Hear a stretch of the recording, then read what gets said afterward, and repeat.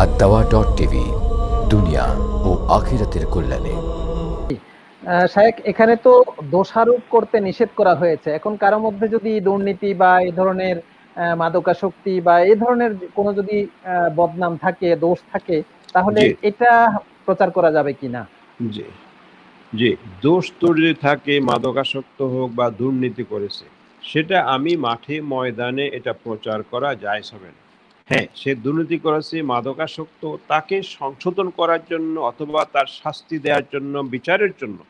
এমন লোকের কাছে বলতে পারব, যার কাছে বললে তার উপযুক্ত বিচার হবে অথবা তার সংশোধন ব্যবস্থা হবে, শুধুমাত্র তার কাছেই বলতে পারব। মাঠে ময়দানে এইভাবে তার সম্মান নষ্ট করে, তাকে প্রচার করা, প্রসার করা, এটা বৈধ হবে না।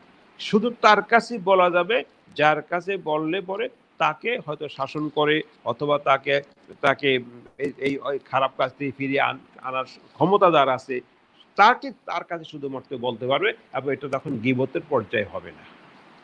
শায়েক প্রতিহিংসা বশত রাজনৈতিক নেতৃবৃন্দ একে অপরের বিরুদ্ধাচরণ করে থাকে বক্তব্য দিয়ে থাকে এ ব্যাপারে কি বলবেন? প্রতিহিংসার নামই তো হিংসা আর হিংসা হারাম।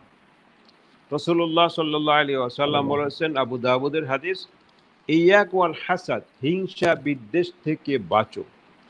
ফাইনাল হাসাদ ইয়াকুল হাসানাত কামা তাকুল নারুল হাতব। হিংসা বিদ্বেষ মানুষের ন্যাকগুলিকে এমন খেয়ে ভস্য করে দেয় যেমন আগুন লাকড়ি খেয়ে ভস্য করে দেয় মানে অস্তিত্বহীন করে দেয়।